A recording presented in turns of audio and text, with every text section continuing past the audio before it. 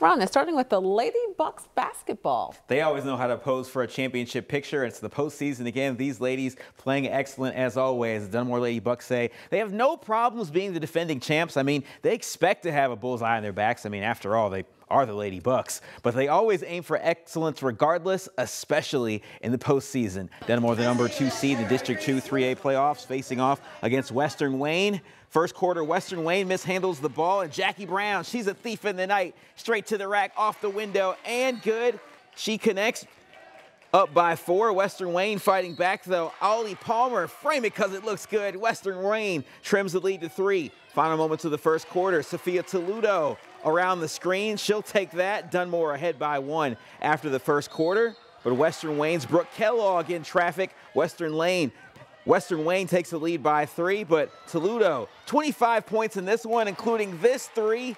65 to 40, 62 rather to 41. Dunmore advances to its third straight district title game.